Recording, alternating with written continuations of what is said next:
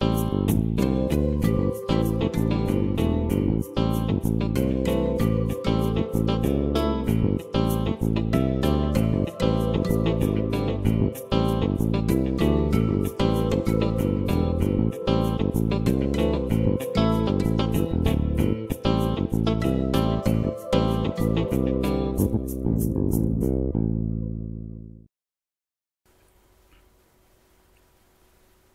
ሰላም ጤና ይስጥልን። የተከበራችሁ የዚህ የቪዲዮ ቲቶሪያል ተከታታዮች፣ በዚህ የቪዲዮ ቱቶሪያል የምንመለከተው የበጀት ሞጁልን ይሆናል።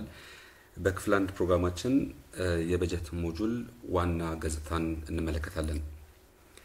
በመጀመሪያ ግን አይቤክስ ማለት ምን ማለት ነው?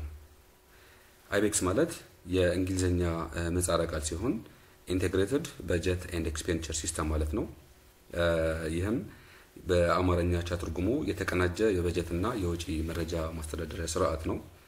ይህ ሲስተም በኢትዮጵያ መንግስት የተዘጋጀ ሲሆን የመንግስት የፋይናንስ አስተዳደር ስርዓትን ለመደገፍና ለማቀላጠፍ በሚል በአጠቃላይ በሀገሪቱ ላይ እንዲሰራ ተደርጎ የተዘጋጀ ነው።